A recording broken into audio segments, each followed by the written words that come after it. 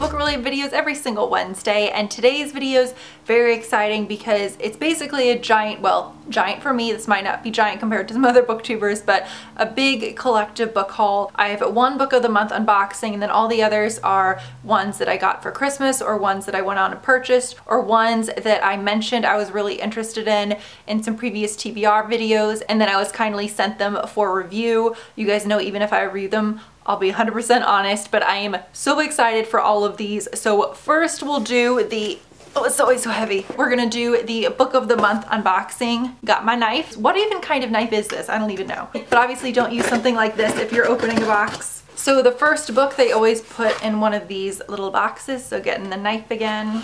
Ooh, so very exciting. This is actually a book, if you guys remember, I talked about in my 2018 TBR video, and this is The Woman in the Window by AJ Finn. This is about a woman who lives in New York City and she witnesses something horrible from her window looking into someone else's. I assume a murder, but maybe not. So, so very reminiscent of Rear Window. And I do want to try and read this while I'm still living just outside New York City because I think that'll add to the atmosphere. But that's a nice surprise because that's one I was just talking about that I wanted to read. The next book is Red Clocks by Leni Zumas. This one sounds interesting based off the first sentence. So in this ferociously imaginative novel, abortion is once again uh, right as I said, abortion is once again illegal. A police car siren went off. I don't know if you guys could hear that. And it says small Oregon fishing town five very different women navigate these new barriers alongside age-old questions surrounding motherhood, identity, and freedom. So super fascinating. Although I've seen this book cover floating around, I haven't heard anything about it. So please let me know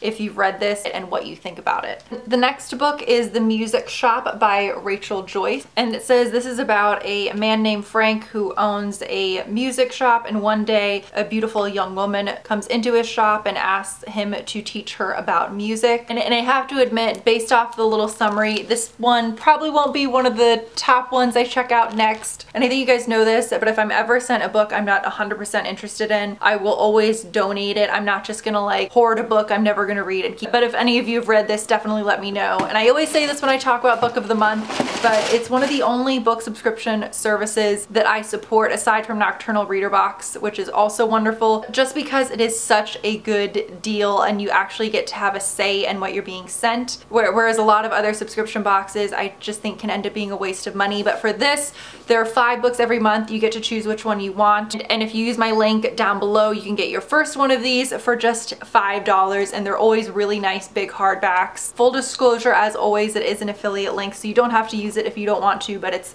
there if you want one for $5. And the next book is As Bright as Heaven by Susan Meissner. And, and just glancing at what this is about, it sounds very depressing, but very interesting. And it takes place in 1918 in Philadelphia. And it says that the Spanish flu reaches North America and the pandemic claims more than 12,000 victims in their adopted city. I will admit, maybe I'm just very ignorant on this. Well, obviously I am. I don't know anything about the Spanish flu, but it says that this talks about their parents and their children and them dealing with it. So I get the impression this is going to definitely pull on the heartstrings, but I'm very intrigued. And, and the last book in the box is Two Girls Down by Louise Luna. Based off the cover, I'm going to guess it's a thriller because thrillers love to put branches on the cover, but we'll see if I'm wrong. I'm right. so at, at, least I think based off the first few sentences. But it says a mother's worst nightmare occurs when Jamie's two young daughters, Kylie and Bailey, disappear without a trace from a strip mall parking lot in their home in Pennsylvania. The devastated family hires Alice Vega, a former bounty hunter whose intellect is matched only by her relentless determination to get results. I will say I've read a couple books recently that are about parents, children, going missing. I'm looking at you, the couple next door, that were not good. So I'll probably do a little research into this to see if I think I'll like it. But I have heard really good things about Louisa Luna before, so this should be promising.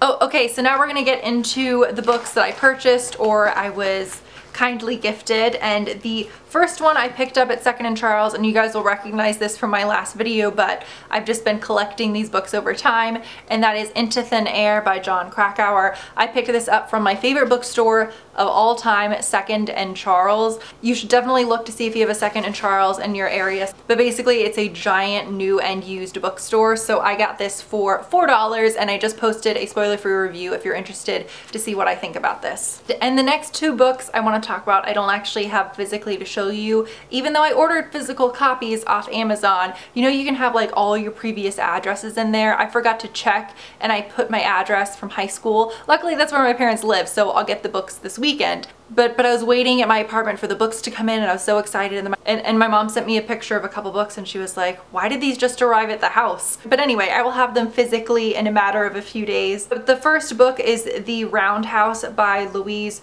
Erdrich. I saw Scribbles Read talk about this and I've been meaning to read more books about Native American life. I've been, especially after watching the film Wind River, I highly recommend watching that. It's semi-based, I believe, on true events of something horrific that unfortunately happened to a Native American girl. But I think it's a very important film to see, very difficult to watch, but I highly recommend it. And it says The Roundhouse is a brilliant chronicle of Native American life and tells the story of a boy on the cusp of manhood who seeks justice and understanding in the wake of a terrible crime that upends and forever transforms his family. So I think it'll be a difficult read, but I've heard really good things about this. And if you and if you know of any other books by Native American authors you'd recommend, please let me know. The next book I ordered is one I talked about in my horror TBR, and that is Goth by Atsuichi. This is a Japanese horror novel that sounds so up, but I'm so excited. And it's about two teenagers who are sociopaths who decide to hunt down a serial killer in their area, not because they want to stop him, but because they want to do something else, which I assume is probably hunt with him. I don't know. So I get the feeling Goth might definitely be my scariest read of 2018. And the next one I'm so excited about, and I'm in the midst of reading it right now, and that is The Winter People by Jennifer McMahon. Is it hard to see in here? I need to turn down the brightness. Okay, hopefully that's a little better. But I'm only about 60 pages into this so far, but I'm absolutely loving it. It is so eerie and disturbing. And The Winter People is about, first it starts off, I should say, and I think it was 1908, where there's a family living out in the country in Vermont, a husband, wife, and their young daughter. Something horrific happens, which I won't say. And then years later in present day, a 19 year old girl who's living in that same farmhouse that they lived in comes across the woman's diary from 1908 and she starts to look into the mystery of the winter people. As I said, I'm only 50, 60 pages in right now, so I don't technically know what the winter people right now. All I know is that it's incredibly creepy and I can't tell if it's like people come back to life or if they're ghosts or zombies. I can't really tell, but it just seems so unique and refreshing and just incredibly eerie. One, the next one I talked about in a TBR and I am so excited to get because I know that so many of you guys read Bird Box by Josh Malerman because I recommended it and I haven't heard